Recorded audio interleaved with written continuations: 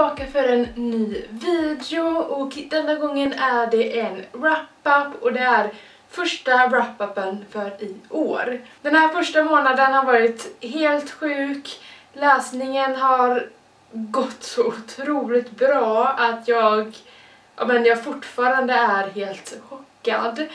Eh, jag vet inte när jag läste så här bra på länge och det känns verkligen så skönt. Om ni har sett min video för mina mål under året så kanske ni reagerar på vad då mycket böcker? Du skulle väl inte tänka så mycket på antalet lästa böcker och eh, sådär. Och eh, jag förstår att ni kanske reagerar på det, för jag själv är som sagt otroligt chockad. Men jag tror att när jag under mina mål eh, la ner alla krav på mig själv, att jag inte skulle läsa så mycket, så exploderade det åt andra hållet istället och min läsning blev bättre än väntat. Eh, så jag har faktiskt läst 11 böcker den här månaden. Det har typ aldrig hänt. Annars kanske det ligger på kanske två eller tre böcker. Eh, så jag är jätteglad. Dock är ju majoriteten av böckerna ljudböcker och det är ju enklare att få in i vardagen. Så det är också därför läsningen har gått så bra. Men jag tycker inte jag ska gå igenom och prata allt för mycket nu utan jag sätter igång med första boken.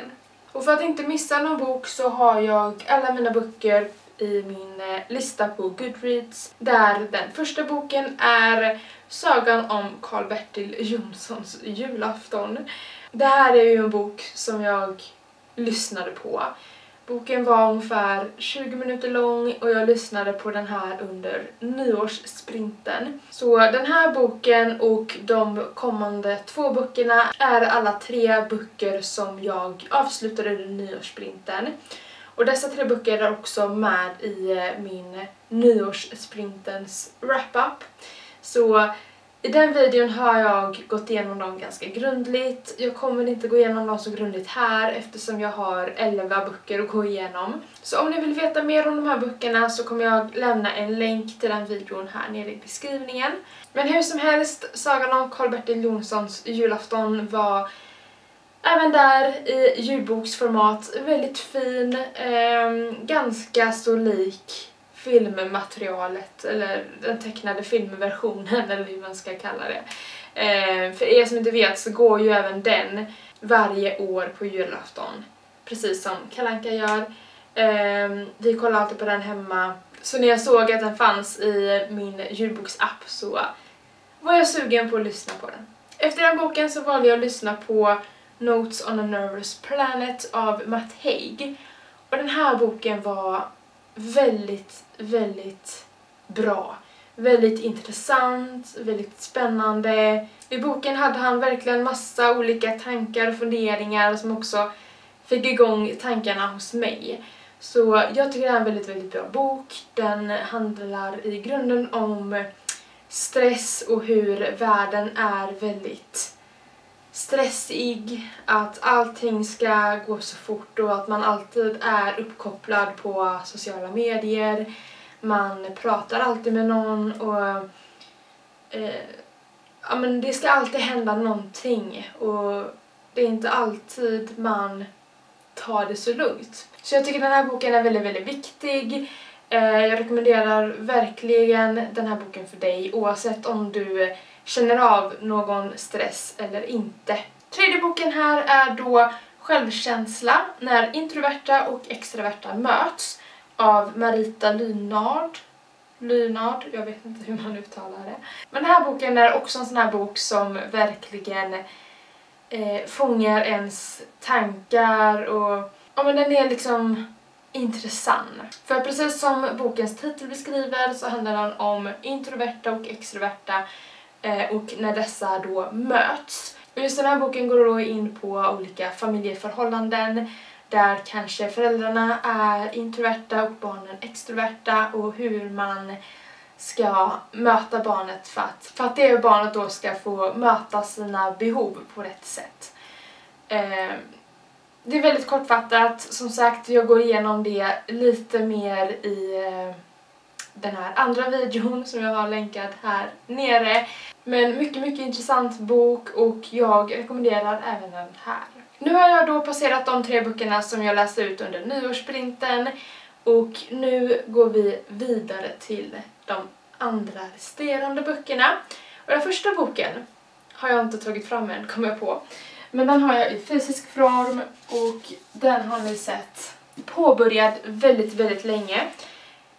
Den är nu avslutad och det är Hunting Prince Dracula av Carrie Maniscalco.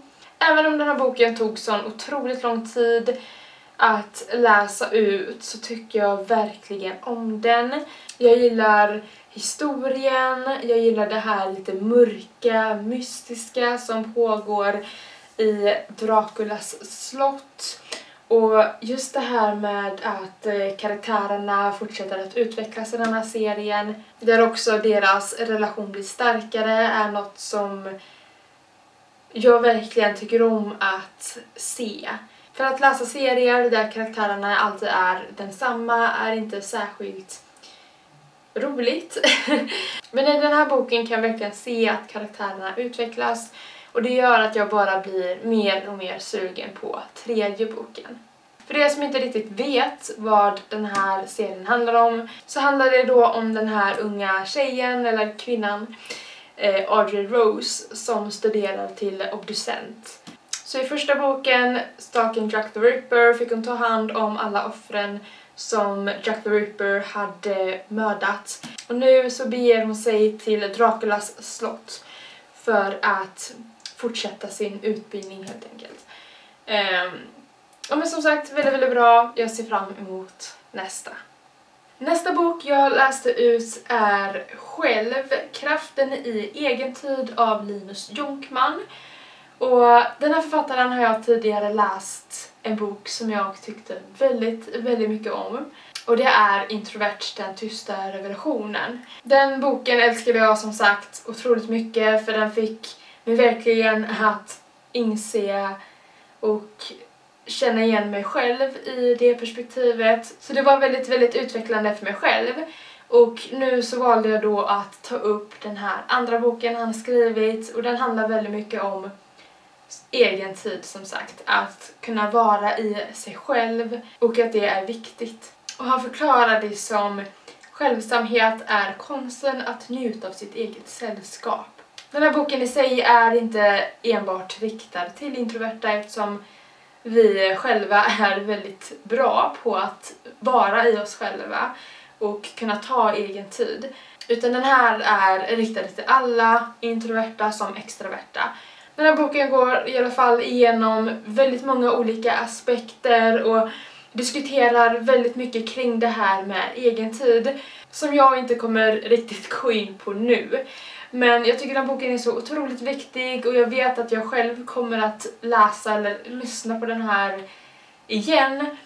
Ehm, och jag rekommenderar verkligen att du lägger till den här till din att läsa-lista eller din TBR för jag vet att väldigt, väldigt många har svårt att bara kunna vara i sig själv, bara kunna ta en paus. Och jag tror att det är något som vi alla måste öva på.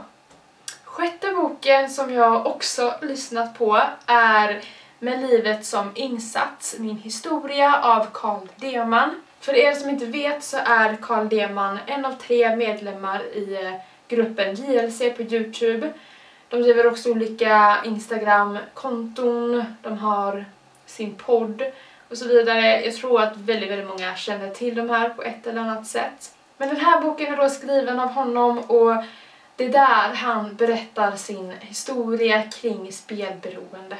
Jag tyckte att den här boken var oerhört gripande och, och jag har aldrig tänkt på spelberoende som något sånt här farligt. För han beskriver det verkligen som ett träsk där när han väl har börjat så går det bara utför. Han spelar bort allt han har, han ljuger för att låna pengar av familj och vänner och allt blir bara värre och värre.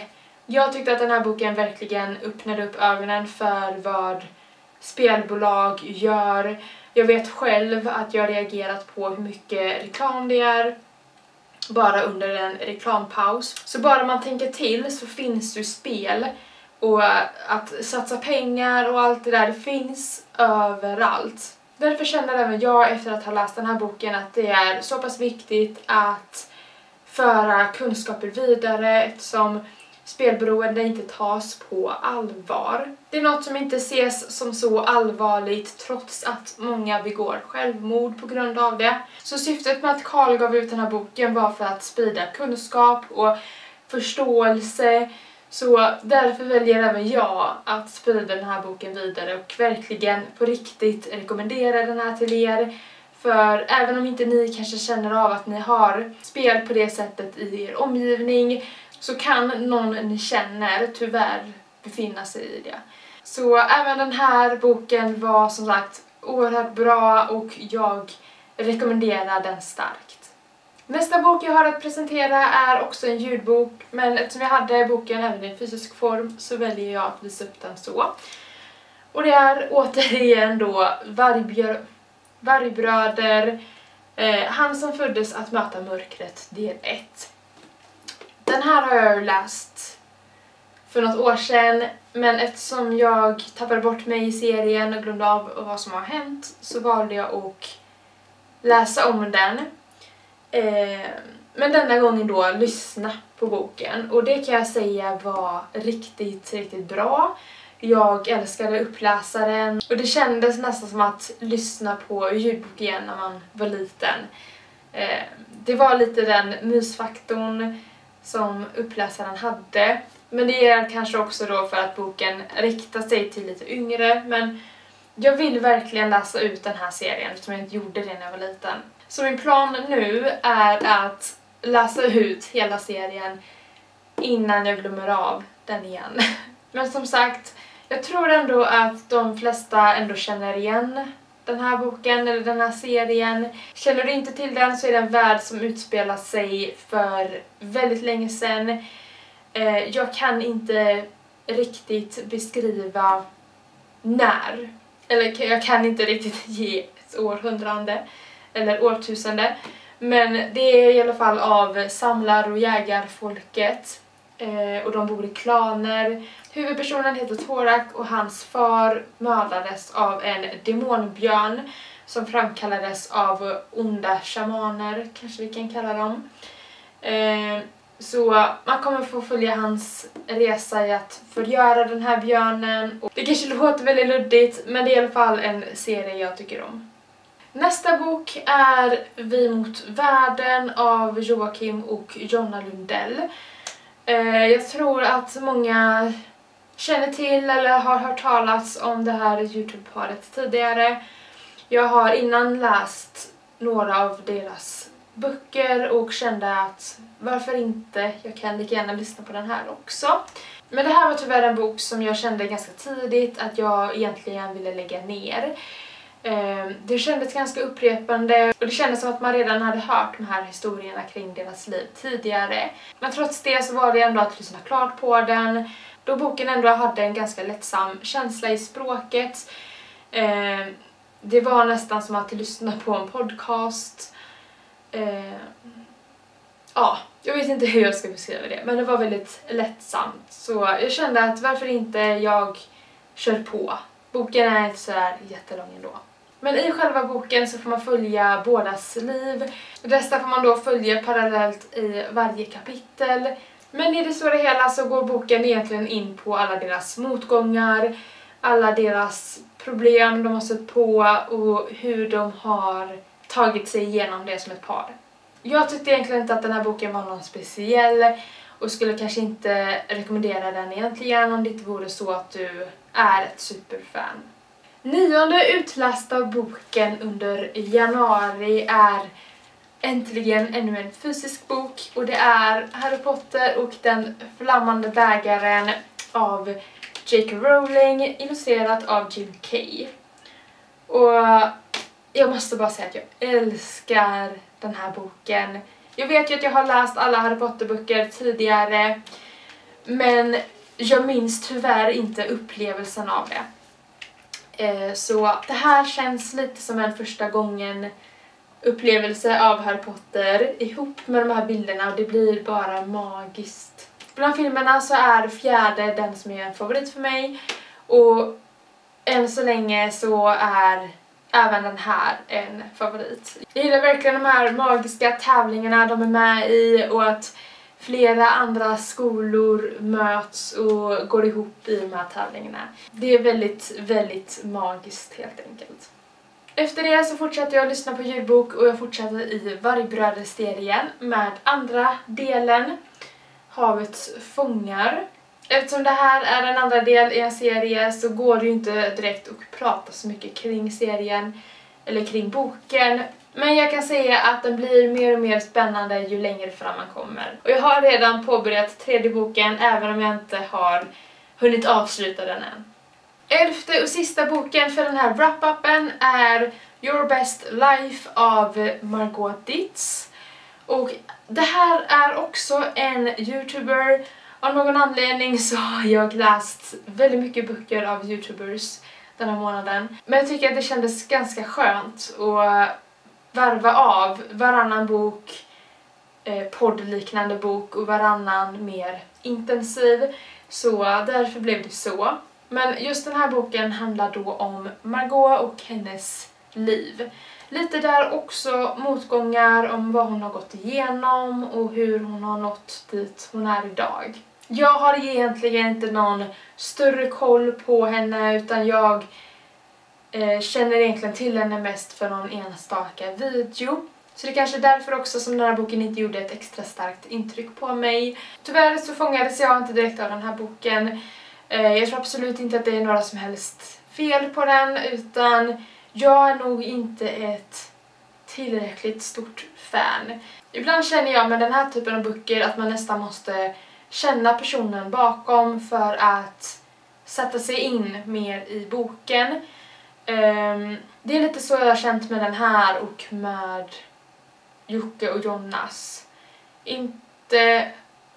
Ja, det är väl lite från och till. Eh, dock skulle jag säga att Carl Diamans bok med eh, Livet som insats är otroligt bra jag tror att vem som helst kan läsa den utan att egentligen känna personen bakom. Eh, men som sagt, är du ett stort fan av Margot Ditz eller bara vill lära känna henne eh, och hennes liv så kan det här vara en bok för dig. Då var det här alla 11 böckerna och jag tror att jag aldrig har gjort en så här lång wrap-up innan. Jag får hoppas att läsningen håller i sig framöver och att den inte tar slut än för att hålla läsningen igång är verkligen så roligt och så underbart. Men nu var det här allt för mig. Jag hoppas att ni tyckte om videon.